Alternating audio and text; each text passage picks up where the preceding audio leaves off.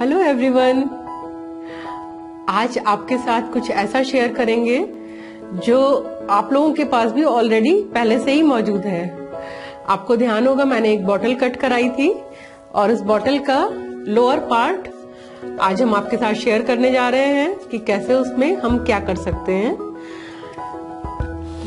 तो इसके साथ में आपको ध्यान होगा, पहले कि मैंने इसके तीन पार्ट कराए थे, बड़ी सी बोतल थी इसके मैंने तीन पार्ट कराए थे। सपोज़ आप कोई भी बोतल ले सकते हैं। मेरे पास इस समय नहीं है बट ये बोतल है मेरे पास। तो आप इस तरह की बॉटल का ये लोअर पार्ट है। मिडिल पार्ट से मैंने कुछ आपको बनवाया था। अगर आपको नहीं ध्यान है तो आप मेरे लास्ट वीडियोस में जाके देख लीजिएगा।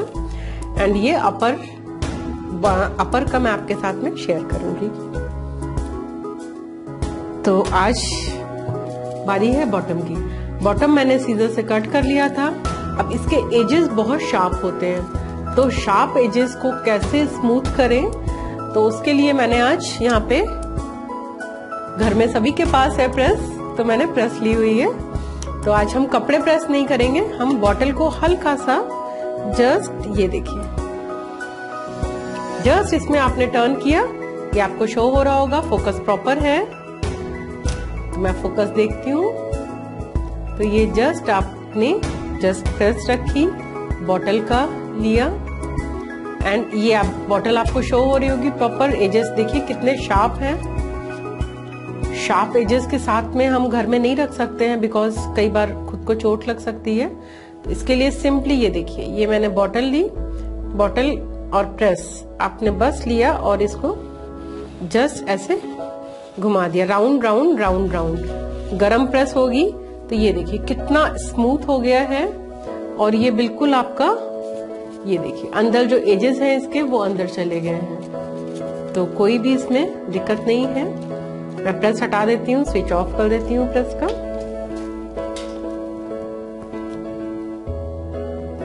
ओके तो एजेस स्मूथ करना कितना आसान है?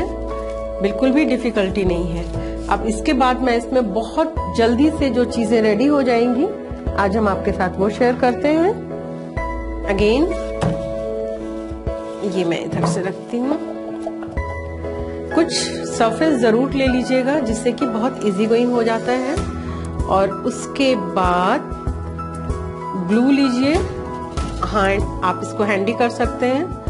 ग्लू के साथ में आपने इसको, पूरे में आपको ग्लू लगाना है। और बहुत जल्दी ग्लू लगाना है। क्योंकि ग्लू गिरने लगता है तो उसको गिरने से पहले ही हमें ये ग्लू पूरा अच्छे से इसको लगा देना है। कितने अच्छे से ये ग्लू लगेगा, उतना ही हमारे लिए ठीक होगा। ये बेस में सब जगह मैंने बहुत अच्छे से इसको लगा लिया है। लगाने के बाद अगर आपको लग रहा है कहीं पे रह गया है तो आप उसको वापस से लगा लीजिए। बिल्कुल भी रहना नहीं चाहिए। इसके बाद, ये है sand river river sand sorry river sand या मोरंग मोरंग भी सब लोग जानते होंगे, जो हमारा, जब हम लोग घर वगैरह बनवाते हैं तो उसमें ये बहुत यूज़ आती है। सिंपली आपको इसको थोड़ा सा काम है जिसमें से गंदगी होती है बट पीस आपका बहुत क्लासी रेडी हो जाएगा।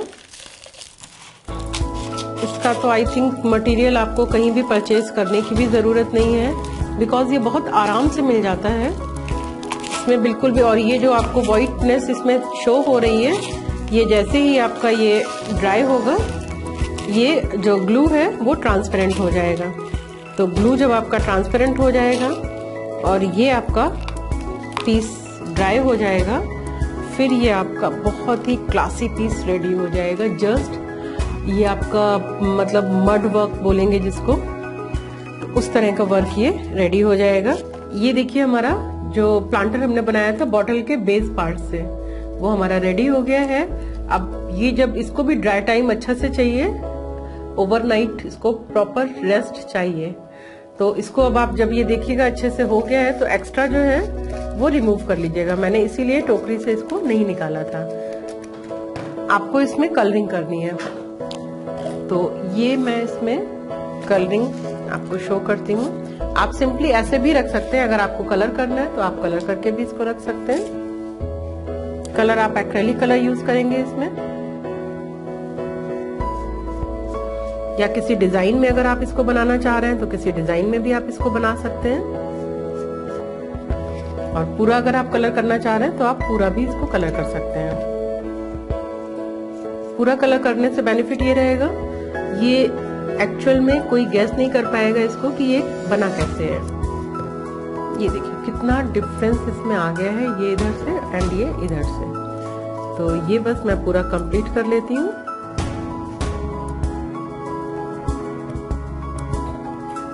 एक चीज़ का ध्यान रखिएगा, ये हम प्लांटर भी आप इसको यूज़ कर सकते हैं एज ए पेन स्टैंड भी यूज़ कर सकते हैं एंड किचन में भी आप इसको स्पून स्टैंड के तौर पे यूज़ कर सकते हैं। बट जब आप इसमें अगर कोई प्लांट लगाने लगाना चाह रहे हैं एज ए प्लांटर इसको यूज़ करना चाह रहे हैं तो आप इसमें, इसके बॉटम में आपको होल करना रहेगा। तो बॉटम में होल करने के लिए आपको स्टार्टिंग में ही जब आप बॉटल कट करते हैं, उसी समय आपको बॉटम में होल करना रहेगा।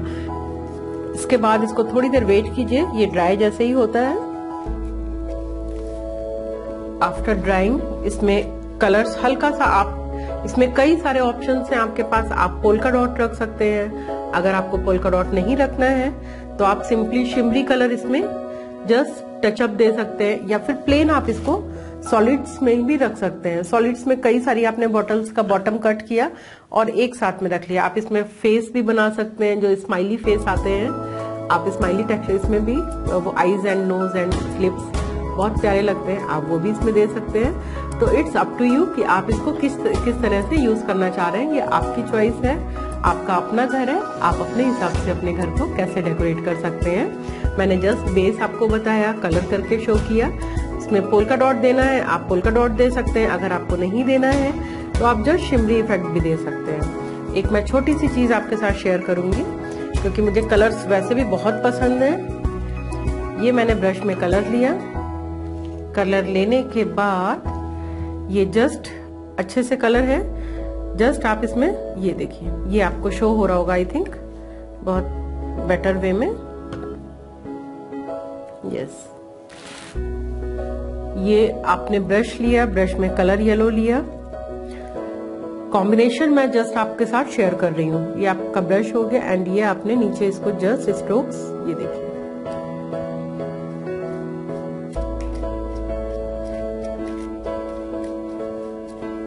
और ये सिंपली ब्रश में और ये सिंपल स्ट्रोक आपको स्ट्रोक्स देने हैं। कुछ भी इसमें एक्स्ट्रा नहीं करना है, ये देखिए सिंपल स्ट्रोक देने हैं। तो ये आपका शेडिंग इफ़ेक्ट अपने आप इसमें क्रिएट हो जाएगा।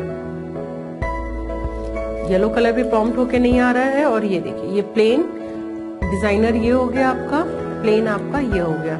पोलका डॉट रखना है तो पोलका डॉट भी आप ब्रश से रख सकते हैं। Polka dot mean simply circular dots तो ये आपका रेडी हो गया है प्लांटर आप इसके अगर सॉलिड्स में रखना चाह रहे हैं आई थिंक सॉलिड्स में रखिएगा, बहुत प्यारे लगते हैं. बेबी पिंक हो गया टी ब्लू हो गया जो लाइट ग्रीन कलर होता है, वो हो गया लेमन येलो हो गया मेजेंटा कलर सारे ही कलर बहुत प्यारे लगते हैं. तो प्लीज़ आप लोग इसको ट्राई कीजिएगा. आई होप आप लोग को ये डीआईवाई बहुत पसंद आया होगा. ओके देन फिर मिलते हैं नेक्स्ट डीआईवाई के साथ. Till then bye bye